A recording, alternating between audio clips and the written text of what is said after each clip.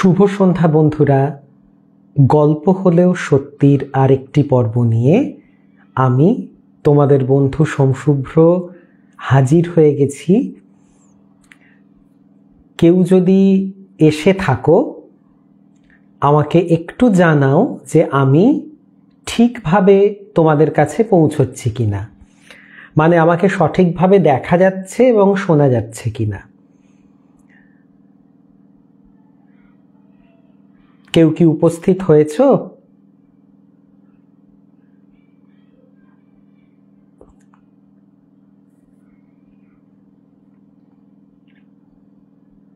আমাকে একটু যদি জানাও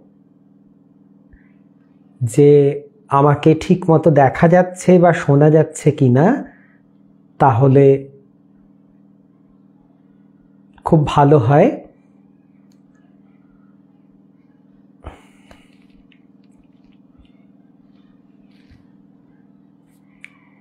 উর্মিদি তুমি এসেছ, চৈতি উপস্থিত আছে।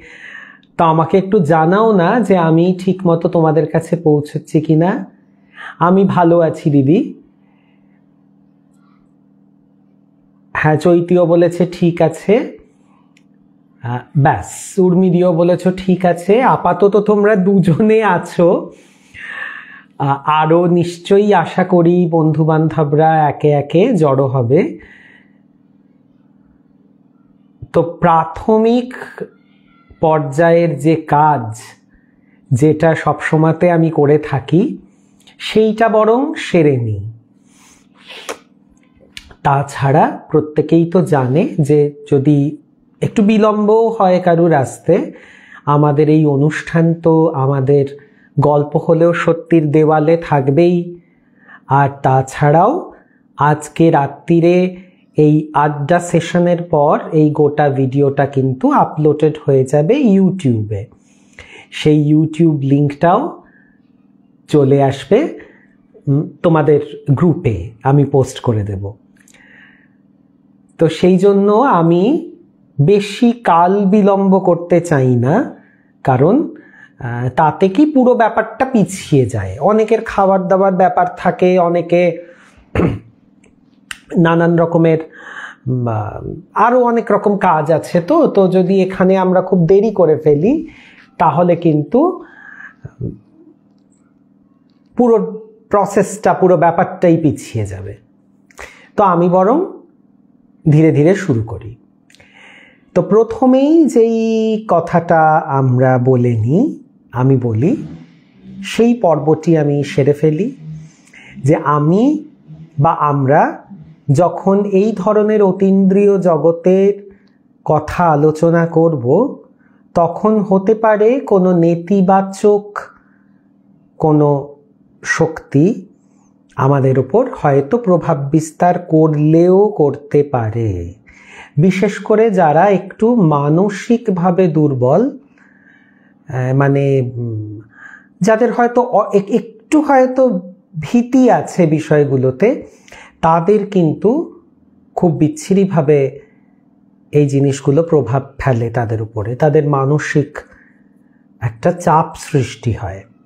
তো সেই জন্য আমি প্রত্যেককেই বলব, আমি কেন বললাম না, খুব সাম্প্রতিককালে আমি একদম ছোট্ট মানুষকে স্মরণ করতেই হবে তো, সেই জন্য এই যে ছোট্ট মানুষকে দেখিয়ে দিচ্ছি। এই যে, আজকে আবার হঠাৎ করে বেশ ঠান্ডা পড়েছে। মাঝখানে একদম ঠান্ডা উধাও হয়ে গেছিল দু তিন দিনের জন্য। আজকে মানে গতকাল থেকেই কিন্তু একটু একটু করে ঠান্ডা বোধ হচ্ছিল, আর আজকে তো বেশ ঠান্ডা। গুড ইভিনিং মধুরিমা, আমি অপেক্ষা করছিলাম তোমাদের সকলের জন্য। তো এই আমাদের সেই ছোট্ট মানুষটিকে আমি দেখিয়ে নিলাম, যার ভরসায় আমরা এই ধরনের বিষয় নিয়ে আলোচনা করার সাহস দেখাই।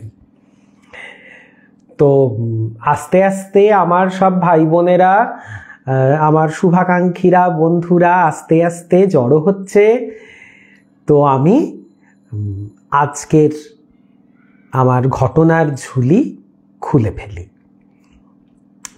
শুরুতে একটা অদ্ভুত ঘটনা আমার না হঠাৎ মনে পড়ল। মানে আমি যে এইটা বলব বলে আমি যে প্রিপেয়ার্ড হয়ে আছি তা কিন্তু নয়।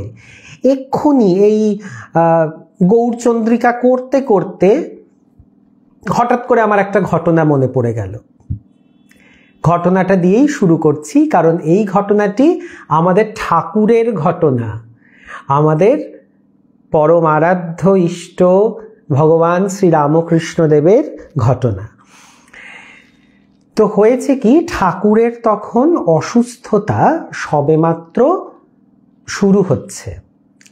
তো খেতে অসুবিধা হয়, ঢোক গিলতে অসুবিধা হয়, প্রত্যেকে তো খুব চিন্তিত যারা তাকে ভালোবাসে, যে প্রত্যেকেই খুব চিন্তিত যে কি হয় কি হয়। এই সময়তে একবার মায়ের দুজন খাস সহচরী ছিলেন আমরা জানি, যে যোগিন মা আর গোলাপ মা। তো যোগিন মা হঠাৎ করে বলেন, আমাদের গ্রামে একজন কোবরেজ আছে। সে ধন্যন্তরী তার কাছে গেলে নিশ্চয়ই এইসব গলা ব্যথা ট্যাথা সে সারিয়ে দেবে। আর আমাদের ঠাকুর সঙ্গে সঙ্গে হাততালি দিয়ে বলতে থাকে হ্যাঁ হ্যাঁ চলো চলো, আমি যাব আমি যাব আমি যাব। ঠাকুর তো দেখো, তার মানে একটা বেশ দাড়ি ফালা একটা পরিণত লোক, তাকে দেখতে হলেও ঠাকুর কিন্তু বালক স্বভাব। কারণ আমরা জানি যে ঈশ্বর বালক স্বভাব। তো ঠাকুর তো ভগবান, তিনি তো ঈশ্বর। তো তিনিও রকম বালক স্বভাব। তিনি খুব ফুর্তি করে বলে হ্যাঁ হ্যাঁ আমি যাব আমি যাব, আমি কবরেজ দেখাবো। বলতে সে তো বেশ কিছুটা দূর নদী টদি পেরিয়ে টেরিয়ে যেতে হয়। তো সে তো ভাসতে ভাসতে নৌকো করে তো তারা চলেছেন দেখাতে। সেখানে কবরেজ মশাইয়ের কাছে নিয়ে গেছেন, দেখিয়েছেন দেখিয়েছেন, তিনি তার মতো ওষুধ টষুধ দিয়েছেন। এবারে ফিরছেন। ফেরার পথে হয়েছে কি, এবারে সকাল সকাল বেরিয়েছে, সেরকম খাবার দাবার সঙ্গে কিছু নেওয়া হয়নি বিশেষ। খুব খিদে। তখন গিয়ে ঠাকুর এবং ঠাকুরের পেট চোঁচো করছে। আর চারজন গেছে হ্যাঁ? মানে যোগিন মা গেছেন, ঠাকুর গেলেই বুঝতে পারছ, ঠাকুরের ভাগ্নে হৃদয়রাম তো যাবেনি, হৃদয়রাম আছেন আর আরেকজন ভদ্রলোক আছেন। আমার এই মুহূর্তে মনে পড়ছে না তিনি কে, তবে চারজন মোট কথা রয়েছেন। হ্যাঁ মহুয়াদি শুভ সন্ধ্যা। তোমার জন্য অপেক্ষা করছিলাম। তো ঠাকুরকে না, ঠাকুরকে নিয়ে চারজন হলো হ্যাঁ? ঠাকুর, হৃদয়রাম, গোলাপ মা বা যোগিন মা আর যোগিন মায়ের একজন, কোনো এক আত্মীয়, কেউ একজন, চারজন। তো সরি তো প্রচণ্ড খিদে টিদে পেয়ে গেছে। তখন বলছে হ্যাঁ আমার ভীষণ খিদে পেয়েছে। সবাই বলছে হ্যাঁ আমাদেরও খিদে পেয়েছে। তখন গঙ্গার একটা ঘাটে দেখা যাচ্ছে, দূরে একটা মিষ্টির দোকান। তখন বলছে, আমি মিঠাই খাব, আমি মন্ডা খাব, যেরকম ঠাকুর বলতেন, আমি মন্ডা খাব। নিয়ে আয়। তো একজন তো চটপট করে দৌড়ে গেছে, গিয়ে মিষ্টি নিয়ে ঠাকুরের কাছে এসেছে। ঠাকুর টপা টপ করে চারটেই মিষ্টি আনা হয়েছে, চারজনের জন্য, মাথা পিছু একটা করে। ঠাকুর কি করেছেন? একাই গপ গপিয়ে চারটে মিষ্টি খেয়ে ফেলেছেন। আমাদের ঠাকুর ভীষণ খেতে ভালোবাসতেন, আমরা জানি। চারটে মন্ডা মিঠাই খেয়ে বলছে, আ, কি ভালো যে খেলুম। বলে পেটে হাত বোলাচ্ছে। বাকিরা তো, হাঁ। ওমা, ঠাকুর, আপনি সব খেয়ে নিলেন? বলে হ্যাঁ রে, বড় তৃপ্তি পেলাম। এইবারে বিশ্বাস করবে না, ঠাকুর যে চারটে মিষ্টি খেয়ে নিল না ওই বাকি তিনজনের পেট পুরো ভরে গেছে পুরো খিদে চলে গেছে। মানে ওদের বোধ হচ্ছে যে ওরা যেন একটা একটা করে সবাই মিষ্টি খেয়েছে। একদম সেই এফেক্টটা সেই অনুভূতিটা ওদের মধ্যে হচ্ছে। হ্যাঁ সুমন থাক গল্প শুরু হয়ে গেছে। তো এই জিনিসটা এমন অদ্ভুত মানে ঠাকুর যেই খাবারটা খেয়ে বললেন, বড় তৃপ্তি পেলাম। সঙ্গে সঙ্গে সকলের পেট ভরে গেল। এটা আমাদের মনে করিয়ে দেয় সেই মহাভারতের একটা গল্প। অক্ষয় তৃতীয়ার সঙ্গে কিন্তু জড়িয়ে আছে গল্পটা। একবার ছোট্ট করে শুনিয়ে দিই। অক্ষয় তৃতীয়ার ওপর আমার একটা ভিডিও রয়েছে যদিও, অনেকে হয়তো শুনেছ, কিন্তু একটু মানে খুব শর্টে, অল্প কথাতে সেরে দিই। এই এই গল্পটার সঙ্গে খুব মিল পাওয়া যাবে। যে একবার তো পাণ্ডবরা যখন বনবাসে আছেন, দুর্যোধন তো মহা বদমাইশ লোক, সবসময়তেই প্ল্যান করছে কি করে এই পঞ্চ ভাই এবং তাদের স্ত্রীকে একটু বিপদে ফেলা যায়। তখন তো ওরা ওরা পাঠিয়েছেন দুর্বাসা মুনিকে যে আমাদের ওখানে ওরা রয়েছে, আপনি যান একটু। দুর্বাসা মুনি আমরা তো জানি প্রচণ্ড মেজাজি এক ঋষি। কথায় কথায় অভিশাপ দেন। গিয়ে এবারে তো বলছে, যুধিষ্ঠির, আমরা খাব। আমরা মানে প্রচুর শিষ্য নিয়ে উনি হাজির হয়েছেন। আমি কিন্তু খুব ছোট করে বলছি হ্যাঁ ঘটনাটা।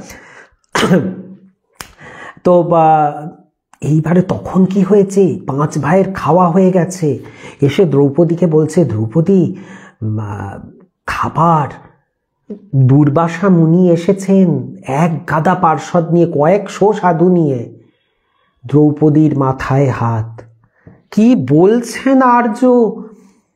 আমার খাওয়া হয়ে গেছে। বাড়িতে তো এক কণা কিচ্ছু অবশিষ্ট নেই। তখন বলে, আমি তো জানি না। বলে, আমরা তো বলতে পারব না যে খাবার নেই, আপনাকে খেতে দিতে পারব না। সেটা শিষ্টতা, ভদ্রতা বিরোধী কাজ, আর তাছাড়া দুর্বাসামুনি। জানতে পারলে তো এক্ষুনি মানে ভয়ঙ্কর অভিশাপে আমাদেরকে শেষ করে দেবেন। দ্রৌপদী কি করেন? অগতির গতি সেই মধুসূদন, ত্রাহি মধুসূদন, দ্রৌপদী তার যখন চরম লজ্জার দিন, তখন যিনি তাকে রক্ষা করেছিলেন, সেই অগতির গতি মধুসূদনকে। যে মধুসূদন, আমি অত্যন্ত বিপদে পড়েছি, আমাকে রক্ষা করো। সখা, আমাকে রক্ষা করো। সঙ্গে সঙ্গে জানলা দিয়ে উঁকি মেরে, সখী, কেমন আছো? কি হয়েছে? আহা, দ্রৌপদী দেখছে যে এসে গেছে মধুসূদন। স্মরণ মাত্র এসে গেছে, হাজির। বলছে, মধুসূদন, আমার এই বললে আরে চিন্তা করো না। ভাত খাওয়াবে তো হ্যাঁ ওরা চান টান করে আসুক, খেয়ে নেবে। তুমি কি আমার সঙ্গে রসিকতা করছ, মধুসূদন? আমার ঘরে একটা কণা অন্ন নেই। আমরা প্রত্যেকে খেয়ে ফেলেছি দুপুরবেলাতে। তখন শ্রীকৃষ্ণ বলছেন, দেখো দেখো, সখী, ঠিক আছে। নেই নেই, সখা নেই। আমাকে নিয়ে চলো রান্নাঘরে, আমি দেখছি। কই তোমার ভাতের হাঁড়ি? হাঁড়ি নিয়ে খুঁজে দেখছে একটা কণা অন্ন পড়ে আছে। খেয়ে ওইটাকে নিয়ে নিজের মুখে দিয়ে বলেন, অহম তৃপ্তস্মি। একটা ঢেকুর তুলে বড় তৃপ্তি পেলাম সখী, দারুণ খাওয়ালে। দিয়ে একটা ঢেকুর। আর এদিকে হয়েছে কি, ওই যে শিষ্য টিষ্য নিয়ে দুর্বাসা মুনি ওদেরকে অপ্রস্তুতে ফেলবে বলে খাবারের জন্য বসে আছে, তারা দেখছে তাদের পেট তো জয় ঢাক। কোথা থেকে খাবার চলে এলো পেটের মধ্যে? মানে শ্রীকৃষ্ণ এক কণা অন্ন গ্রহণ করলেন, আর সমস্ত পৃথিবীর মানুষের দুর্বাসা এবং দুর্বাসার সমস্ত পার্শ্বদের সকলের পেট ভরে গেল। তারা তো তখন দৌড়ে পালানোর পথ খুঁজছেন যে আমরা বললাম আমরা খাব, কিন্তু খেতে পারব না তো এক কণা ভাতের পর্যন্ত জায়গা নেই আমাদের পেটে। তো এই গল্পটা এই জন্যই বললাম যে আমাদের ঠাকুরও কিন্তু এই কলিযুগে সেই এক কাণ্ড করলেন। উনি চারজনের মিঠাই খেয়ে নিয়েছেন, চারজনের মন্ডা খেয়ে নিয়েছেন। উনি খেয়ে যেই বললেন, বড় তৃপ্ত হলুম। সঙ্গে সঙ্গে বাকি তিনজনের পেট ভরে গেল, তাদের আর খিদে নেই। তো এই একটা অদ্ভুত গল্প। আমি ঠিক মানে ভেবে আসিনি যে এই গল্পটা বলব। হঠাৎ কথা বলতে বলতে আমার মাথায় এলো। তো আমি সেই জন্য তোমাদের সঙ্গে সঙ্গে সঙ্গে ভাগ করে নিলাম আমাদের ঠাকুরের গল্প। এইবারে আরেকটি গল্পে যাই। আমাদের এক দিদির কাছ থেকে আমার গল্প শোনা। দিদির দাদু, ঠিক আছে? দিদির দাদু মানে আমারও দাদু। তো আমি দাদু বলেই বলব তাকে। তো এই দাদু থাকতেন এক একটি জায়গাতে। আমি কিন্তু জায়গার নাম বলা নিষেধ আছে কারণ সবার তো পারমিশন নেওয়া সম্ভব নেই। হয় না? তো সেইটা হয়নি। তো দিদি বলেছেন যে জায়গা টায়গার নাম একটু অ্যাভয়েড করে চলো। তো আমি সেটাকে একটুখানি বাদ দিয়েই যাচ্ছি। জায়গাটা কিন্তু গঙ্গার তীরে। মানে এই যে দাদু, দাদুর বিশাল প্রতিপত্তি। তিনি অত্যন্ত বিত্তশালী এবং অত্যন্ত প্রভাবশালী একজন ব্যক্তি, এবং একদম সাহেব। মানে চলনে, বলনে, ঠাটে, বাঁটে, একদম পুরো কেতাদুরস্ত সাহেব। কিন্তু অদ্ভুত, এই ঠাকুরের কিন্তু মানে এই দাদুর আমি এখানে ঠাকুর পড়তে গিয়ে ঠাকুর বেরিয়ে গেছে। হ্যাঁ দুই জয়িতা দিয়ে এসে গেছে। সংযুক্তা এসে গেছে, রুবি ম্যাডাম এসে গেছেন। তো আমার একদম মোটামুটি আমার সমস্ত সুরিদ্রা আমার কাছেই আছে এখন। তো কি হয়েছে? এই দাদু কিন্তু একটি বিষয়ে একদম খাঁটি ভারতীয় এবং বাঙালি। তা হচ্ছে তার ঈশ্বর ভক্তি। দাদু প্রচণ্ড মা তারার ভক্ত। এবং সেই বাড়ির ওপরে একদম ছাদে এক মন্দির স্থাপন করে সেখানে মা তারার বিশাল পট। সেখানে প্রতিদিন তিনি একদম ভোরবেলাতে উঠতেন, খুব ভোরে। মানে একদম ব্রহ্ম মুহূর্ত যাকে বলে, সেই সময়তে উঠে। আর একদম গঙ্গা ছিল মাত্র কয়েক পা, জানো তো? মানে এই হয়তো কুড়ি পঁচিশ পা পরেই গঙ্গা। তো উনি সেই গঙ্গাতে স্নান করে এসে একদম চলে যেতেন সেই মন্দিরে। সেখানে গিয়ে মায়ের পুজো টুজো করে তারপরে তিনি কিন্তু আবার তার কোট, প্যান্ট সমস্ত কিছু পরে একদম সাহেবি কায়দায় তিনি অফিস যেতেন, তিনি কাজে যেতেন। তো এই দাদুর দাদুকে নিয়ে ঘটনাটা। তো একবার দাদু পূজায় বসেছেন দেখছেন ঘরে গঙ্গা জল বারন্ত। গঙ্গা জল নেই। কি করবেন? উনি তো নিজের মতো করে পুজো করে নিয়েছেন, কিন্তু ওনার মনটা খুঁতখুত করছে। গঙ্গা অবশ্য ভীষণ কাছে। কিন্তু জানো তো যে একবার যখন কেউ পুজোয় আসনে বসে পড়ে, সে আসন ত্যাগ করে যাওয়াটা উচিত না, বা ওই আসনে বসে কথাও কিন্তু বলতে নেই। যারা খুব মানেন এইসব নিয়ম কানুন তারা কিন্তু এগুলো মানেন যে তখন সেই সময় কিন্তু ডেকে অন্য কাউকে বলবে, এই যা তো, নিয়ে আয় গঙ্গা জল। একজন কেউ যাবে, নিয়ে আসবে, পুজো বন্ধ থাকবে, কি কথা বলবেন অন্যের সঙ্গে? এগুলো কিন্তু ঠিক না। যখন পুজোয় বসেন, লোকে একাশনে পুজো করেন। পুজোতে যখন বসেন এবং তখন অন্য কারুর সঙ্গে কোনো আর কথাবার্তা হয় না, তারা সেই তিনি সেই পুজোটি সম্পন্ন করে তবেই আসন ত্যাগ করেন। এটাই রীতি ছিল। তো এই দাদুও ভীষণ সেই সমস্ত মেনে চলতেন, পুরো নিয়ম কানুন। মা তারা, তার আরাধ্যা। তো তিনি তো দেখছেন যে গঙ্গা জল নেই, তো সেই দিন তিনি বিনা গঙ্গা জলেই পুজো করেছেন। এমনি জল দিয়ে তিনি পুজো করেছেন, কলসির জল দিয়ে। রাত্রির বেলাতে উনি স্বপ্ন দেখছেন যে ছাদের একটি অংশে, একটি কোণে, সেখানে স্বয়ং মা গঙ্গা দাঁড়িয়ে তার পাত্র ভরে দিচ্ছেন জলে। এইটা দেখার পরে মানে এটা এতটাই রিয়েল ছিল মানে এতটাই স্পষ্ট ছিল তার এ। আমি একটি প্রশ্ন অবশ্য দিদিকে করেছিলাম যে, দিদি, এই যে উনি যে স্বপ্ন দেখলেন যে মা গঙ্গা তার পাত্র ভরে দিচ্ছেন, তো পাত্র কি সত্যি সত্যি ভরে গেছিল? বা নয়তো যেই জায়গাটাতে উনি দেখেছিলেন ছাদের যেই অংশে মা গঙ্গা দাঁড়িয়ে আছেন, ওই জায়গাটাতে কি জল ছিল বা ভিজে ছিল? এরকম কিছু? মানে মায়ের উপস্থিতিটা কি স্পষ্ট ছিল? দিদি কিন্তু সেইটা না বলতে পারেননি। দিদি বললেন, ভাই, আমি নিজে অনেক ছোট ছিলাম আর আমি অত ডিটেলসটা কিন্তু আমার ঠিক মনে নেই এই মুহূর্তে। তবে কিছু একটা হয়েছিল, যেটায় প্রমাণ হয়েছিল যে মা গঙ্গা স্বয়ং ওখানে এসছিলেন। কেননা ওই জায়গাটাতে মানে ওই পার্টিকুলারলি যেই জায়গাটাতে উনি স্বপ্ন দেখেছেন যে মা দাঁড়িয়ে আছেন, বলে ওই জায়গাটা শ্বেত পাথর দিয়ে বাঁধিয়ে দিয়েছিলেন দাদু। মানে জায়গাটাকে ঈশ্বরের একটা বেদির মতো তিনি তৈরি করে দিয়েছিলেন। তো শুধুমাত্র স্বপ্নের ভিত্তিতে তো হয় না, আমার ধারণা, দিদি মনে করতে না পারলেও আমার ধারণা যে কিছু একটা ঘটেছিল, যেটায় প্রমাণ হয়েছিল যে ওখানে স্বয়ং মা এসে দাঁড়িয়েছিলেন।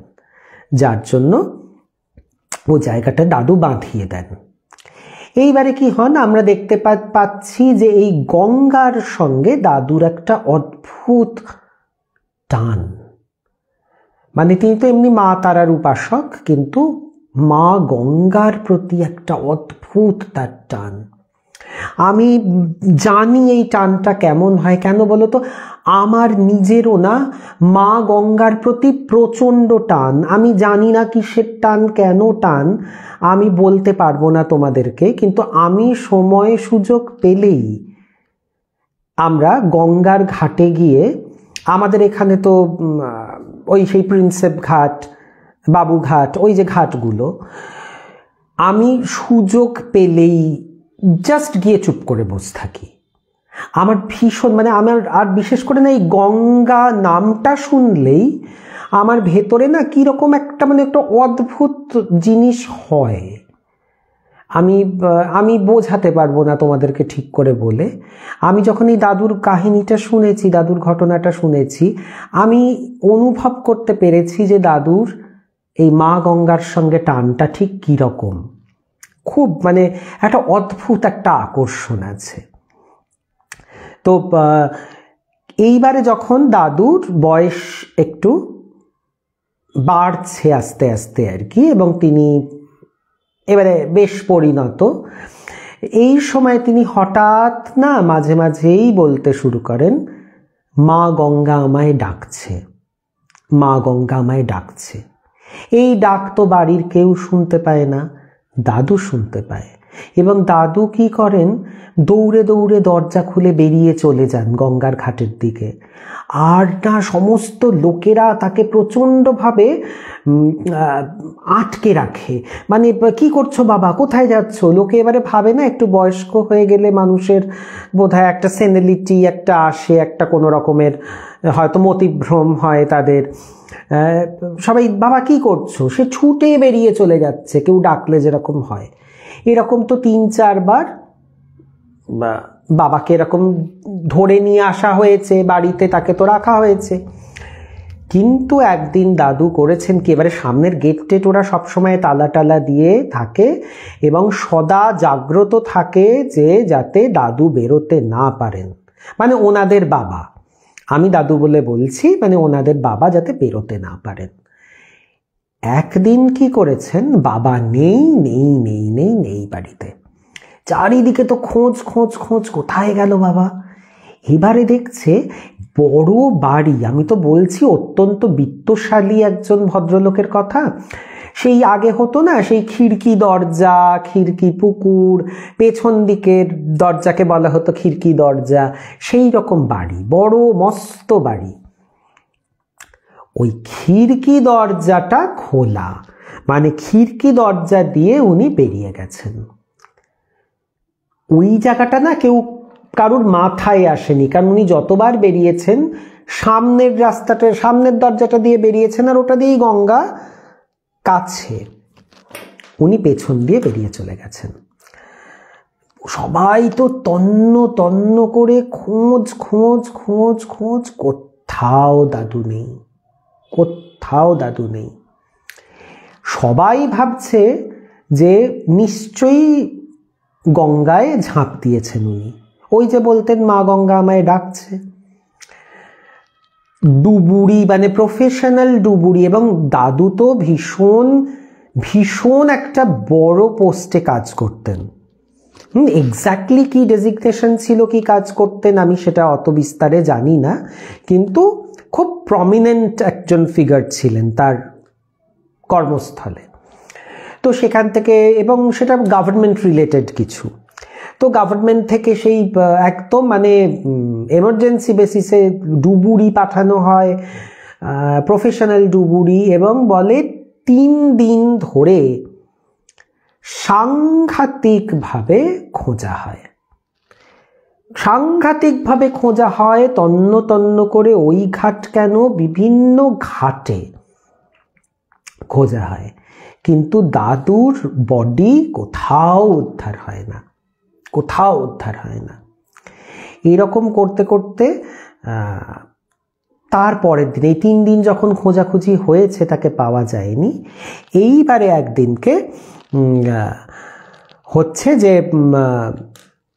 বেরোবেন। এবার নৌকো টৌকো এসেছে, ছেলে, সে খুঁজতে বেরোয়। সে নৌকোতে থাকে, ডুবুরিরা নাবে, তার বাবারকে উদ্ধার করা গেল কি না দেখার জন্য। তো ছেলের কি মনে হয়েছে? নৌকো এসে ঘাটে ভিড়েছে, ছেলে নৌকোয় উঠবে। এইবারে ছেলে হঠাৎ করে এরকম হাত জোর করে দাঁড়িয়ে বলছেন যে, মা, বাবা বলতেন যে তুমি ডাকছ, যে তুমি তুমি তাকে ডাকছ। তুমি যদি বাবাকে নিয়ে থাকো, বাবার দেহটা অন্তত আমাদের কাছে ফেরত দাও যাতে আমরা তার সন্তানেরা বাবার যথাযথ শেষকৃত্য সম্পন্ন করতে পারি। এই কথাটা তিনি হাত জোর করে গঙ্গা তীরে দাঁড়িয়ে ঠিক নৌকোটাতে পা দেবার আগে উনি এই কথাটা বলেছেন। বলে এবারে তিনি জাস্ট পাটা এরকম বাড়িয়েছেন, নৌকোয় তিনি পা রাখবেন। সঙ্গে সঙ্গে বন্ধুরা বিশ্বাস করবে না ওর সেই নৌকো আর ওনার মাঝখানে বাবার বডিটা ভেসে উঠেছে। এবং ভেসে উঠেছে একটা অদ্ভুত মুদ্রায়। মানে পা দুটো ওপরে আর মাথাটা নিচে। মানে ওই যে শীর্ষাসন করা হয় না? যেখানে দুটো পা ওপরে থাকে, মাথাটাকে নিচে থাকে। সেই শীর্ষাসনের মতো করে পা দুটো এরকম ওপরে আর মাথাটা নিচে এইভাবে জলের মধ্যে থেকে সঙ্গে সঙ্গে ভেসে উঠেছে। এইখানে তিন দিন ধরে কিন্তু সার্চ পার্টি চলছে, প্রফেশনাল ডুবুরিরা কেউ খুঁজে পায়নি। যেই উনি এই প্রেয়ারটা করলেন যে আমরা সন্তানদের কাছে অন্তত আমরা যাতে বাবার শেষকৃত্যটা সুষ্ঠুভাবে করতে পারি, বাবার বডিটা মা আমাদেরকে ফেরত দাও। সঙ্গে সঙ্গে। এবং কি হয়েছিল? যে তার উল্টো হয়ে থাকার জন্য না, তার মাথার দিকে তো সমস্ত রক্তটা চলে গেছিল। এবারে বডিটা যখন আসে, এই ব্রহ্মরন্ধ্রটা কিন্তু ফাটা ছিল। আর আমরা একটা জিনিস কিন্তু বিশ্বাস করি, মানুষের বিভিন্ন অঙ্গ দিয়ে প্রাণ বেরোয়, ব্রহ্মরন্ধ্র ভেদ করে প্রাণ বেরোনো হচ্ছে সর্বশ্রেষ্ঠ।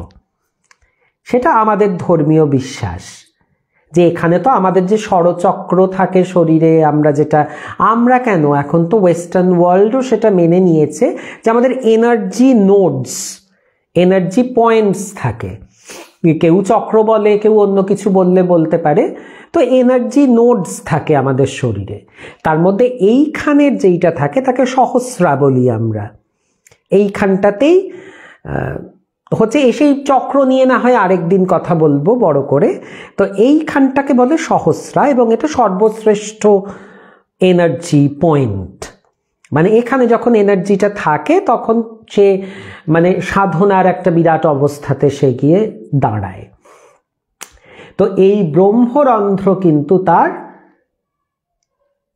আমি বলব তার ভেদ করেই তার প্রাণটা বোধ হয় বেরিয়ে কারণ তিনি এরকমভাবে ছিলেন, তার মাথার এ জায়গাটা ফেটে যায়।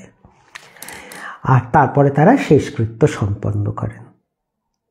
এত অদ্ভুত গল্পটা মানে ঘটনাটা আমি শুনে অবাক হয়ে গেছি।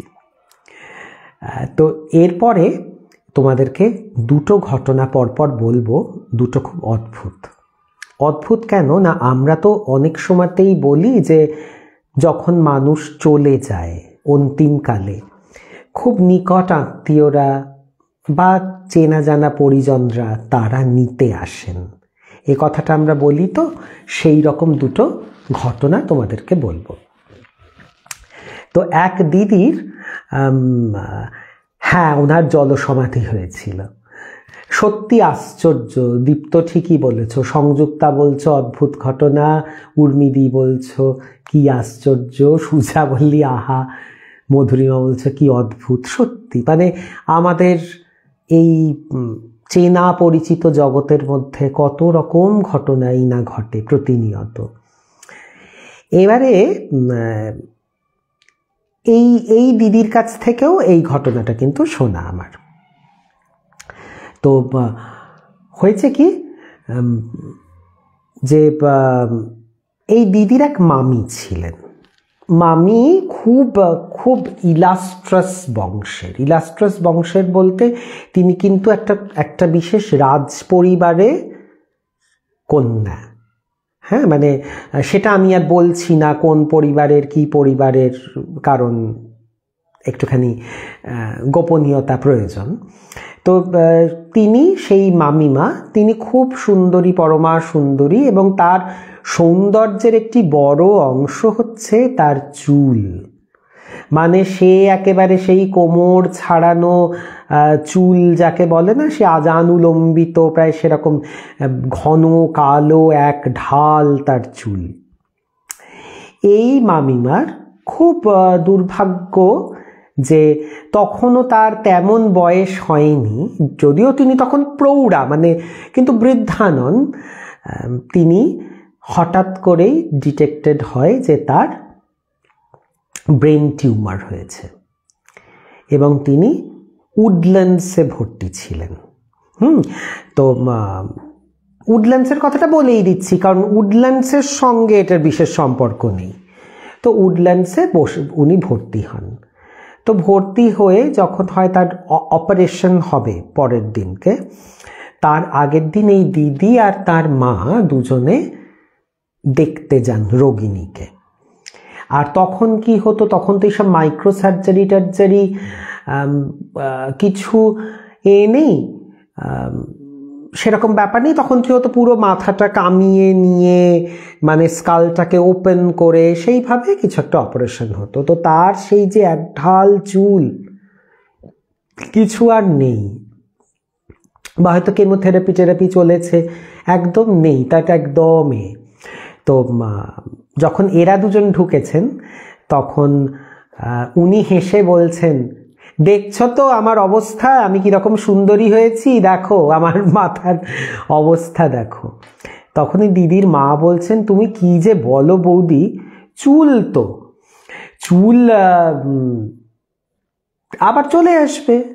তোমার অপারেশন হয়ে যাবে, চুল আবার দেখবে, গজিয়ে যাবে তোমার এ করে।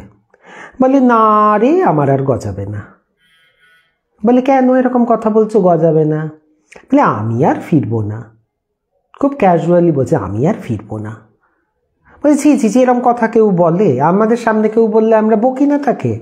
বলছে, এরকম কথা কেউ বলে কখনো? আমি আর ফিরবো না, এই না, ওই না? এত প্রযুক্তি উন্নত হয়েছে চিকিৎসাবিদ্যা এত উন্নত হয়েছে যে তুমি এই সমস্ত ভুলভাল কথা বলছো, তুমি ঠিক ঠিক হয়ে যাবে, দেখো। বলে, না রে, আমি ফিরবো না। বলে, কেন বারবার করে বলছো? ফিরবো না ফিরবো না। বলে, জানিস, আমার বাবা পণ্ডিত মশাই মানে ওনার পণ্ডিত মশাই উনি যার কাছে পড়তেন, পণ্ডিত মশাই আর আরেকজন কোনো এক নিকট আত্মীয়। বলে, ওরা তিনজন তো ওই জানলার ওপরে বসে থাকে। একটা জানলা দেখিয়ে বলছেন যে, তিনজন তো জানলার ওপরে বসে থাকে। এবং উনি বুঝতে পেরে গেছেন যে ওনাকে নেবার, নেওয়ার জন্য এই তিনজন উপস্থিত হয়েছেন। তার বাবা, তার টিচার পণ্ডিত মশাই আর আরেকজন কোনো নিকট আত্মীয়। সেটা দিদি ঠিক রিকল করতে পারেননি। তো ওই বলে ওই তিনজন তো জানলাতে বসে থাকে, আমি আর ফিরব না। এবং সত্যি পরের দিন যখন ওটিতে তাকে নিয়ে যাওয়া হয়, তার ব্রেন ওপেন করে না আবার ব্রেনটাকে বন্ধ করে দেওয়া হয়। কারণ অপারেশন করার মতো অবস্থা ছিল না। মানে এমন ছড়িয়ে গেছে আর এমন সেটার অবস্থা যে সেটাকে আর কিছু করা যাবে না। তার স্কালটা ওপেন করে আবার সেটাকে বুঝিয়ে দেওয়া হয়। কিন্তু বুঝিয়ে দেওয়া হলেও কোনো লাভ হয়নি। আর তার জ্ঞান কখনো ফেরেনি ওটির পরে। মানে তিনি ওটিতে সেই যে অজ্ঞান হয়েছিলেন, তিনি সেই অজ্ঞান হওয়া অবস্থাতেই দেহত্যাগ করেন।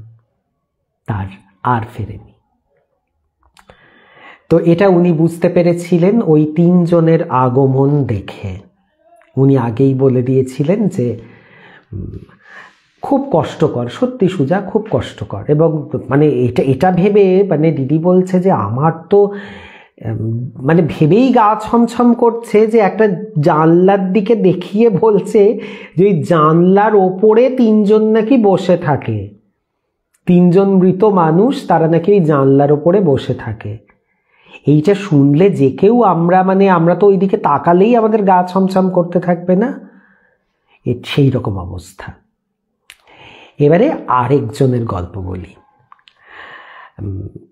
এটাও আমি একজনের কাছ থেকে পেয়েছি। এটাও তার মামাকে নিয়ে, তার এক মামাকে নিয়ে গল্প। তো সেই মামা খুব উচ্চ পদে চাকরি করতেন আর তিনি বিপত্নিক। তার মা, তার স্ত্রী মারা যান। বেশ কিছু বছর হলো মারা গেছেন, দুটি মেয়ে রেখে গেছেন তার আশ্রয়ে। এবারে সেই মেয়ে দুটি তো বাবার সঙ্গে থাকে। তো এরকম করতে করতে যা হয়, জীবন যেরকমভাবে এগিয়েছে এগিয়েটে গিয়ে এক সময়তে ভদ্রলোক তার শেষের দিকের অবস্থা মানে খুব অসুস্থ, ভীষণ অসুস্থ। এবং সেই তাকে মশারি খাটিয়ে রাখা হয়েছে এবং একটি মেয়ে, বড় কন্যা, তিনি কিন্তু ওই মশারির ভেতরে বস থাকে বাবার কাছে। সারা রাত্রির অ্যাটেন্ড করতে হয়। আমাদের বাড়িতে যাদের অসুস্থ মানুষ কখনো ছিল বা আছেন, আমরা জানি যে রাত্রিরে তাদেরকে বারবার করে খেয়াল রাখতে হয়, তাদের কি প্রয়োজন, না প্রয়োজন। তা তো বলতে পারেন না তখন। তো ওরকম বসে আছে। বেশ রাত, হুম, অনেকটা রাত। হঠাৎ করে দেখছে মশারির বাইরে একজন দাঁড়িয়ে আছে কে এবং তাকিয়ে পরিষ্কার দেখছে তার মা দাঁড়িয়ে আছেন।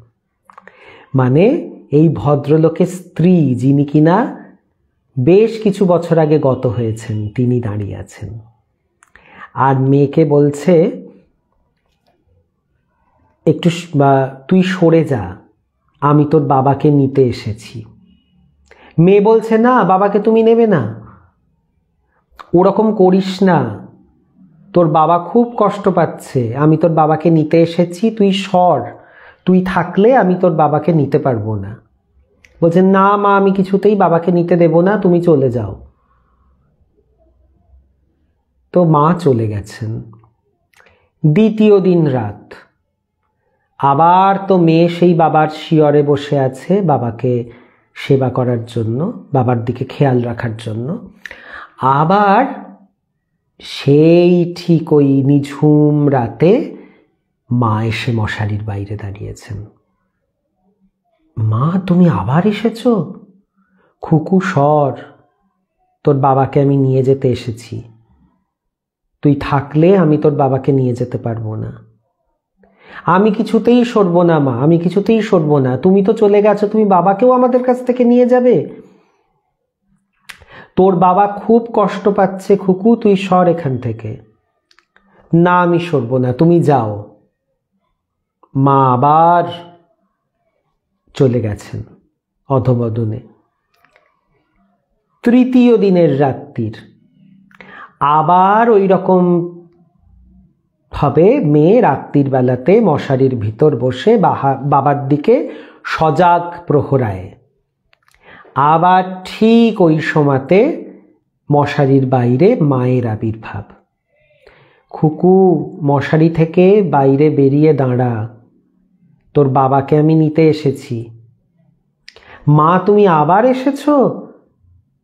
তুই দেখতে পাচ্ছিস না তোর বাবা কতটা কষ্ট পাচ্ছে? ও তো প্রচণ্ড কষ্ট পাচ্ছে। তুই ওকে আরও কষ্ট দিতে চাস? সরে যা, আমি ওকে নেব। এইবারে মেয়ে আর না করে না। কারণ সত্যি বাবা প্রচণ্ড কষ্ট পাচ্ছেন। এবং আমরা তো জানি যে যখন একটা সময় আসে, একটা স্টেজ আসে, যেই সময় আমরা কিন্তু নিজেরাই নিজেদের প্রিয়জনদের মৃত্যু কামনা করি। কীরকম করি না আমরা ঈশ্বরকে বলি, হে ঈশ্বর, যদি সুস্থ না করতে পারো, আর মানুষটাকে কষ্ট দিও না। এই প্রার্থনা কিন্তু আমরা করি। তো যখন দেখছেন যে বাবার সত্যি সত্যি খুব মানে একেবারে অবস্থা ক্রমে খারাপের দিকে যাচ্ছে, সেই সময়তে আর মা এসছেন, বারবার করে আসছেন মা আরও ফিরিয়ে দিচ্ছে। এইবারে তিনি আর না করলেন না, সেই মেয়ে, সে মশারির বাইরে নেবে, সরে দাঁড়াল, দূরে গিয়ে দাঁড়াল।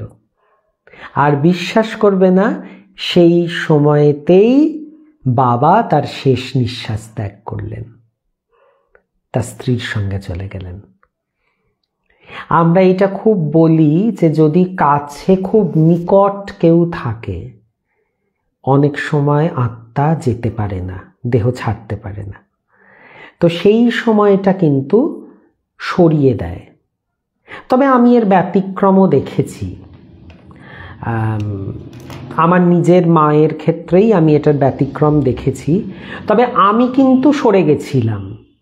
মানে আমি কিন্তু সেই সময়তে ছিলাম না। আমি প্রেয়ার করতেই গেছিলাম মায়ের কষ্ট দেখে। কিন্তু আমার বাবা ছিলেন সর্বক্ষণ এবং আমার মায়ের না একটা অদ্ভুত কি বলব? মায়ের একটা অদ্ভুত বিশ্বাস ছিল। আমি জানি না এটা কতটা ভিত্তি আছে, কতটা ভিত্তি নেই। কিন্তু মানুষের বিশ্বাস তো যেরকম হয়। প্রত্যেক মানুষের একটা বলে না যে, আমি মাথায় সিঁদুর নিয়ে চলে যেতে চাই। এই মাথায় সিঁদুর নিয়ে চলে যাওয়ার লোভ আমার মায়ের ভীষণ ছিল। তার জন্য কি বলে যে, বলে এটা এটা কিন্তু আমি জানি না। এটা এটার কোনো ভিত্তি আছে বলেও আমি জানি না, কিন্তু আমার মা বিশ্বাস করতেন। সেটা হচ্ছে যে, মা দুর্গার পট। মা দুর্গার ছবিতে স্নান করে উঠে নিজে যখন সিঁদুর পরেন সধবারা, তখন মা দুর্গাকে আগে সিঁদুর পরান, পরিয়ে নিজে সিঁদুর পরেন। ওই স্নান করে উঠে মা দুর্গাকে যদি নাকি সিঁদুর পরানো হয়, তাহলে বলা হয় যে নাকি সে মাথায় সিঁদুর নিয়ে এসে মরতে পারে। এরকম একটা বিশ্বাস। মানে আমার মা অন্তত এই বিশ্বাসটি করতেন এবং মা জীবন ওই রিচুয়ালটা মেনে গেছেন যে মা দুর্গার মাথায় সিঁদুর দিয়ে উনি স্নান করেই প্রথমে দিতেন। আর মায়ের আরেকটা ইচ্ছে ছিল। মায়ের সেই ইচ্ছেটা ছিল যে মা একদম মানে বাবার মানে কোলে মাথা রেখে মা দেহত্যাগ করবে। এই ইচ্ছেটা মায়ের ছিল। এবং বিশ্বাস করবে না, আমার মা মানে আমি যেই মুহূর্তে ঘরে এসে ঢুকি, এসে দেখছি যে ওই বুকের মধ্যে প্রেশার দিয়ে যে রেজারেক্ট করার একটা চেষ্টা করা হয় ডক্টর সেটাই করছেন। এবং আমার মা কিন্তু পুরোপুরি আমার বাবার একদম বুকে মাথা। মানে বাবা পুরো এরকম করে ধরে আছেন আমার মাকে, আমার মা প্রাণ বেরিয়েছে কিন্তু আমার বাবার বুকে মাথা রেখে। কাজেই প্রিয়জনের সরে যাওয়াটা মায়ের ক্ষেত্রে আমি সরে গেছিলাম। আমি ছিলাম না ঘরে। কিন্তু মা যখন মায়ের প্রাণ বেরিয়েছে, সেটা কিন্তু আমার বাবার একদম বুকে মাথা রেখে মায়ের প্রাণ বেরিয়েছে। এটা আমি দেখি। মানে আমার এইটা এমন গায়ে কাঁটা দিয়েছে পরে মানে আমি যখন সেই সময় তো আমরা বিউভল সেই সময়তে আমি একটা বারো বছরের ছেলে। আর আমার বাবা টেম্পোরারিলি একদম পাগল হয়ে গেছিলেন। মানে আমার বাবা বেশ কিছুদিন অসংলগ্ন কথাবার্তা বলছিলেন, নানা রকম হিস্টিরিক হয়ে গেছিলেন, ভাঙচুর করছিলেন মানে বাবাকে অনেক দিন লেগেছিল বাবাকে নিয়ে আসতে আবার নর্মাল সিতে তো বাবা কিছুদিনের জন্য মানে একেবারে পাগলই হয়ে গেছিলেন মানে একদম মাথা তার কাজ করছিল না। তো, কিন্তু পরে যখন এই ঘটনাটা আমি ভেবেছি। আমি যে দেখেছি যে মায়ের বরাবরের এইটা কিন্তু ইচ্ছে ছিল, মা ইচ্ছেটা প্রকাশ করতেন যে আমি মাথায় সিঁদুর নিয়ে আমি এই পৃথিবী ছাড়ব এবং আমার স্বামীর কোলে মাথা রেখে মানে বুকে মাথা রেখে হলো আর কি, প্রায় কোলেই সেখানে মাথা রেখে আমি যাব। কাজে আমার বাবা ছিলেন, আমার মায়ের মাথা একদম মানে বাবার বুকের ঠিক এইখানটায়। একদম বাবার হাতে মা প্রাণত্যাগ করেছেন আর মাথায় সিঁদুর নিয়ে গেছেন। তো এ বড় আমার কাছে, আমাদের পরিবারের কাছে খুব মর্মান্তিক ঘটনা, কিন্তু এই যে বিশ্বাসটা যে বিশ্বাসটা নিয়ে আমার মা, এটা বড় অদ্ভুত। এটাই গল্প হলেও সত্যি। যে যে বিশ্বাসটা সব সময় আমার মা বলতো যে, আমি মাথায় সিঁদুর নিয়েই মরবো। আর তার জন্য ওই রিচুয়ালটা ফলো করতো মা দুর্গার মাথা সে মা দুর্গার মাথা এরকম ঢিপি হয়ে গেছিল, সিঁদুর পরে পরে পরে পরে আর কি। মানে সেই এত সিঁদুর পরাতো। সিঁদুর পরিয়ে আর ওই যে স্বামীর কোলে মাথা রেখে মরা, এই যে তার ইচ্ছেটা, সেই ইচ্ছেটা কিন্তু ঈশ্বর পূর্ণ করেছিলেন। তো এই একটা ঘটনা। তো তোমাদের কেমন লাগছে বলো? হ্যাঁ মধুরিমা, বলতে পারো এইটা হ্যাঁ সোনালিও বলছে এই লোকটা বোধহয় সব, একদম ঠিক। বোধহয় সব মেয়েদেরই থাকে এই লোভটা, যে তারা এটা চান।